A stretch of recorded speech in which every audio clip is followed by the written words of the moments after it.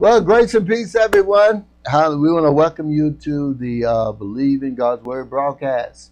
Uh, we are encouraging people to make God and His Word the final authority. Amen. So we just uh, we've been talking about the goodness of God, but we want to get right into our confessions. Believe in God's Word. So say say this with me. Say, I believe God's Word. God's Word works and it is working mightily in me and through me. Hallelujah. And say this with me say, God's word, the incorruptible, the indestructible, the infallible, the irresistible, the ever living seed word of God. Amen. And we always we always remind people that the word of God is the creative power when it's conceived in the heart, spoken out of the mouth through the lips, it is creative power.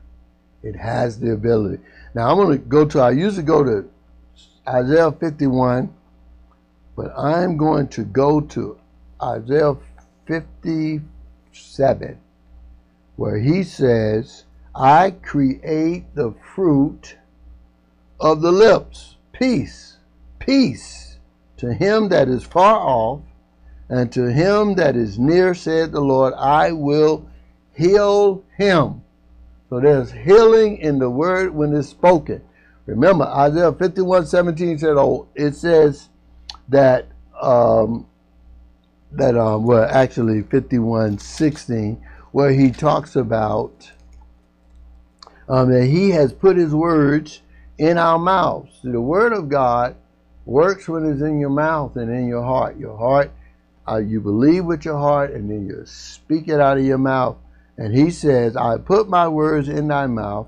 I have covered thee in the with the shadow of my hand. We talk about protection and we talk about the hand deals with provision. So he says, and I that I may plant the heaven. So God says, I'm going to work with your mouth.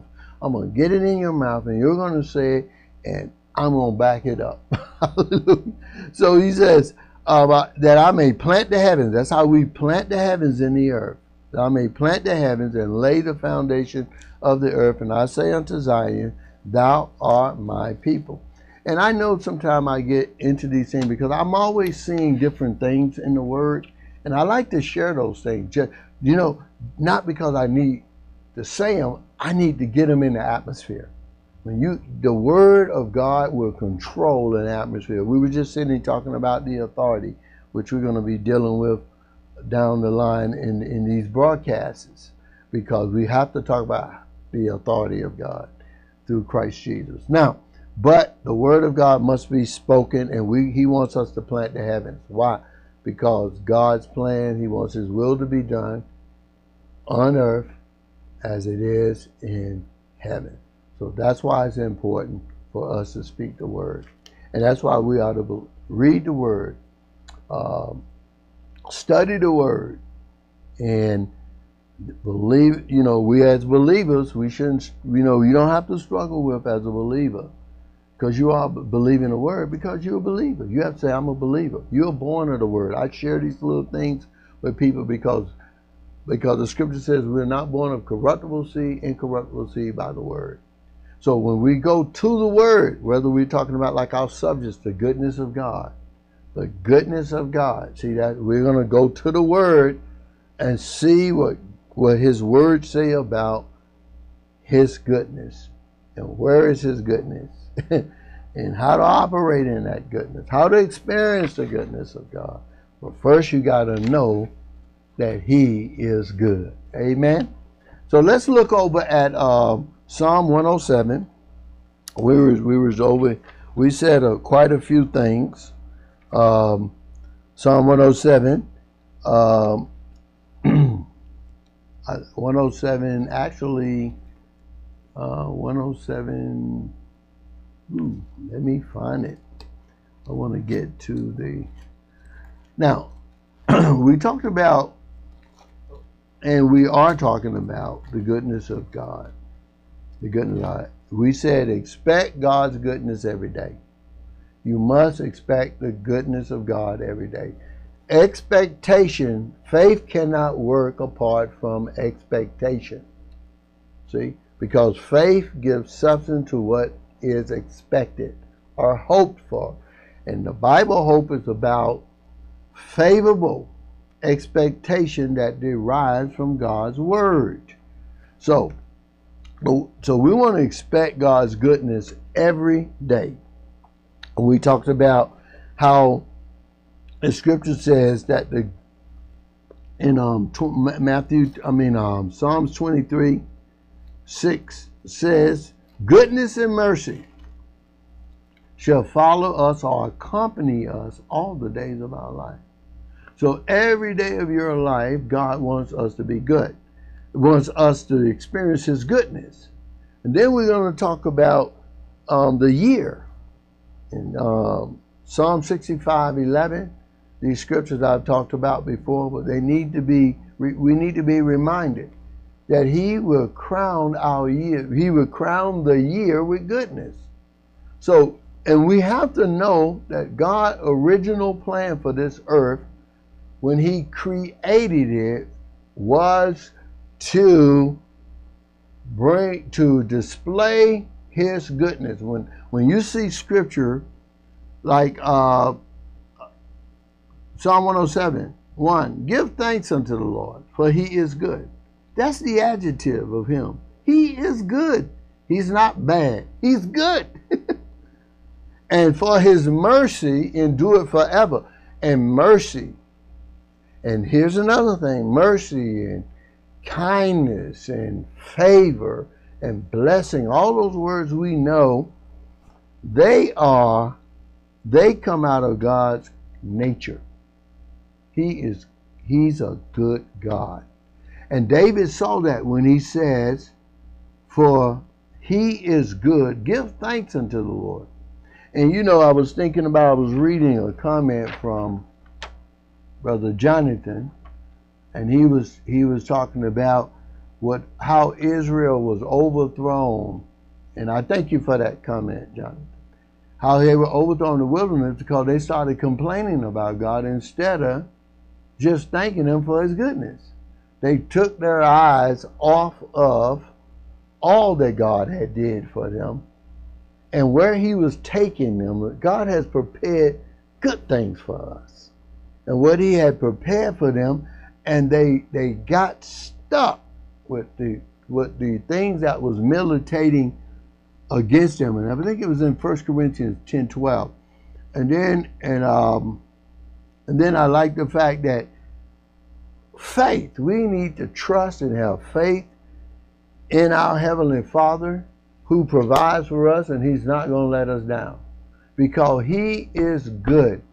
You know, when I, when I think about the, the fatherhood of God, the Bible says, How much more shall the Father give good things?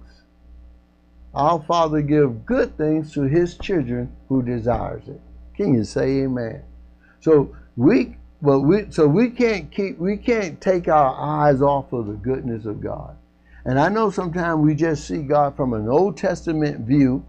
And if you visit my website, you will you will see that um, on that website, you know, you'll see there's particular subjects that I talk about, like renewing our mind, renewing, getting our minds renewed, because we're looking at sometimes we're looking at God through the eyes of the Old Testament.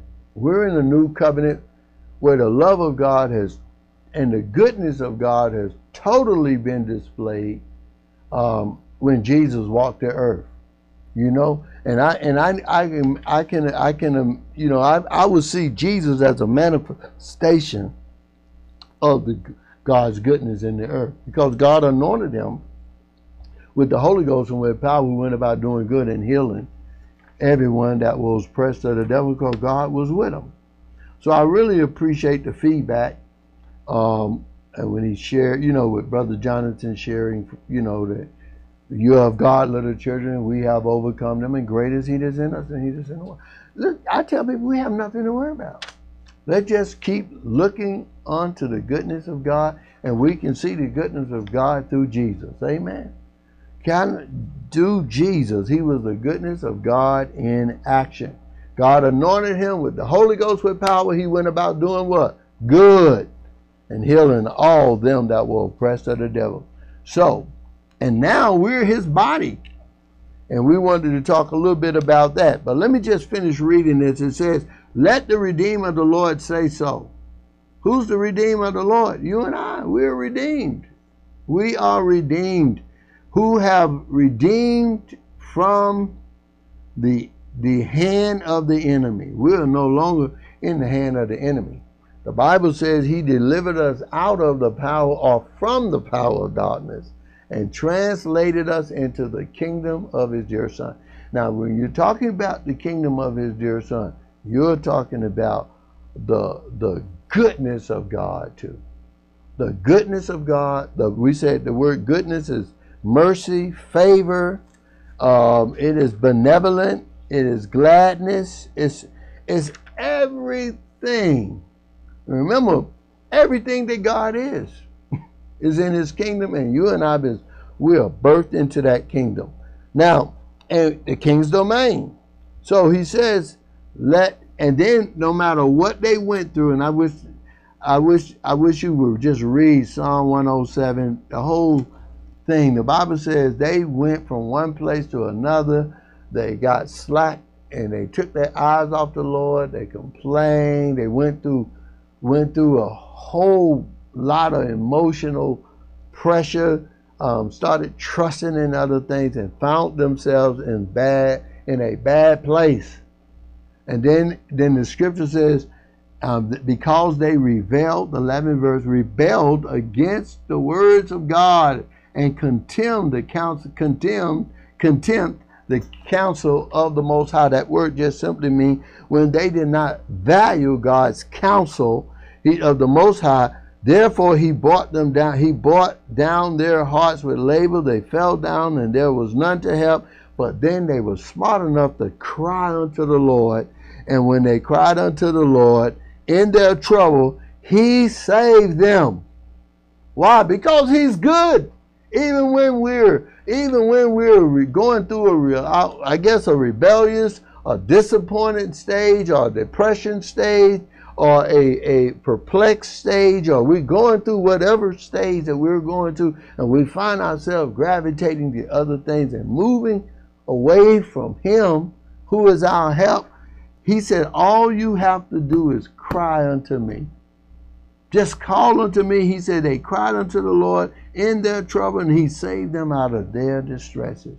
And he brought them out of darkness and the shadow of death and broke their bands asunder. Why would he do that? The next verse. Oh, that men would praise the Lord for his goodness. Hallelujah. And for his wonderful works to the children of men. Man, that is powerful. and you just see on and on in this 107 how I, have you ever been there? God gets you out of one thing and well, I'm good. And then six years, six months, six years, six weeks, some people six minutes, but I, I ain't getting nobody. You find yourself straying into something else, something else happens, and then you say, man, let me cry unto the Lord. And you cry unto him, and guess what he does? He delivers you. Why? Because the Lord is good, his mercy endureth forever, he says, I'm going to keep showing you. I'll never give up on you. You know why? Because, oh, that men will praise me for my goodness, not my badness. There is no bad in them. For my goodness.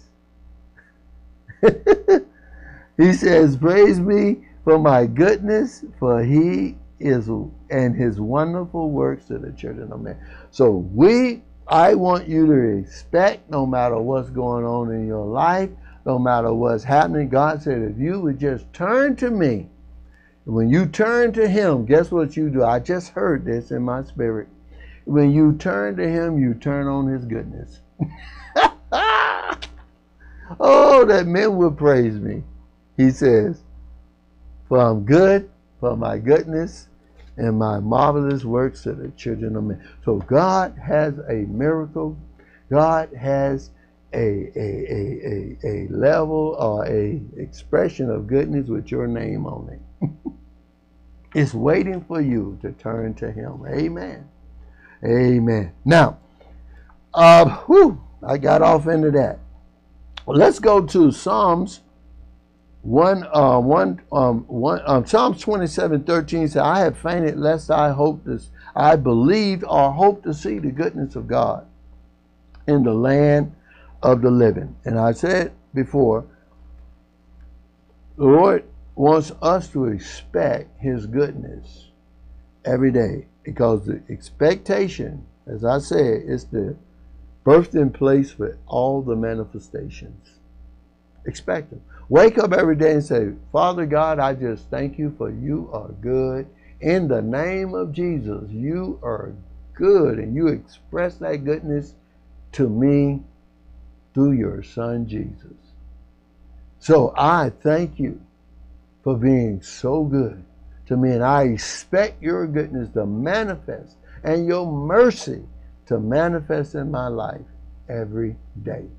Every day I am in expectancy for your goodness. His goodness is his benevolent self. Jesus was the full goodness of God in action.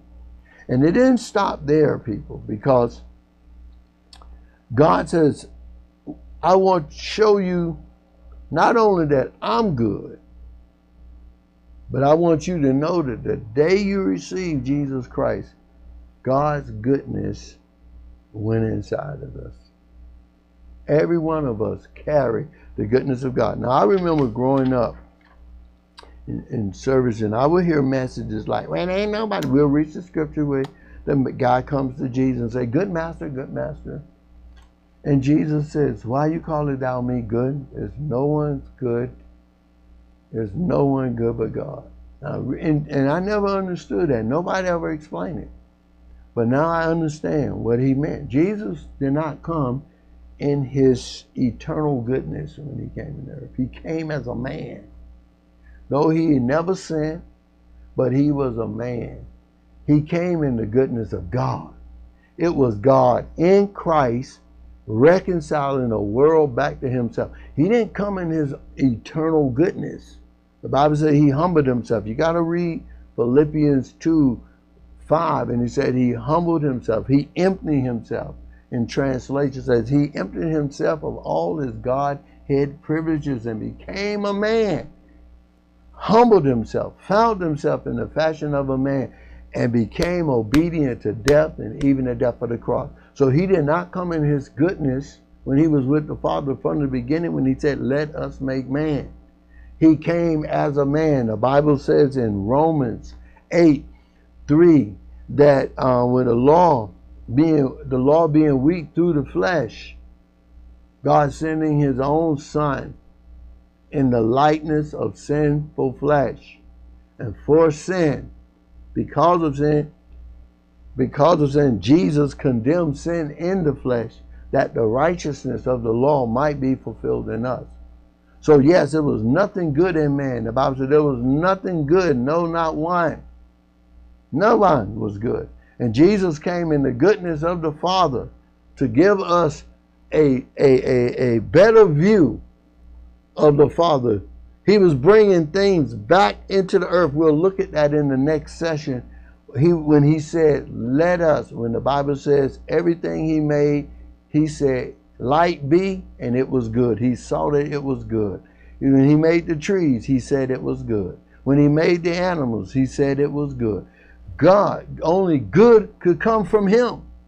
And then we know when the when Adam disobeyed him, then that's when the bad came in.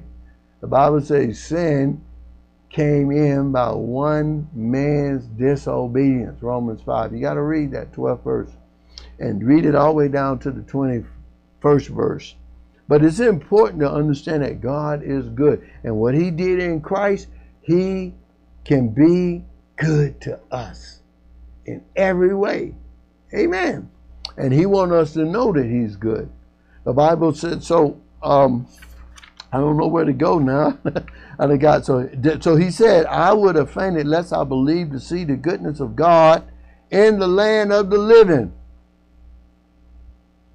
So David knew we all will faint, give up if we don't believe. He's one so he tells us here we he we should be believing and seeing the goodness of God in the land of the living. Not just when we leave this earth, but right here in the land where we're living. God said, I want to reveal my attribute of goodness in your life. Well, I'm out of time. Glory to God. I'm out of time. but anyway, I hope you enjoyed that little bit that we shared. Um, and expect every day the goodness of God to be manifested in your life. And we're going to pick it up next week. So in the meantime, we just want to uh, we just want to remind you to share, to like, and to share and subscribe in this broadcast. And we've we've been uh, what we say um, been just believing God to op- for this operation get the word out. The Lord gave the word, and great was the company. 16, 68, 11 in Psalms. The Lord gave the word, and great was the company of them that published it. So, publishing here means help to spread the good news. So, we, we are encouraging to subscribe, as I said, to share, to like, to families and friends, and help us get the word out because we are that great company. Amen. Well, we uh, appreciate this time together. We're going to see you in our next broadcast. And remember, let's keep reminding ourselves I believe God's word. God, and, and I believe, I believe God, I trust God and His word, and I have made God and His word in my life the final authority.